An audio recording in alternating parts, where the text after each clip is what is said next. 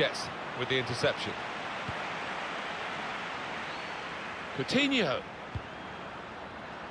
Now Suarez to get the equaliser. Just a smooth operator, the Croatian midfield man, who likes to get forward and shows the value of it once again. He took it on, and that showed a bit.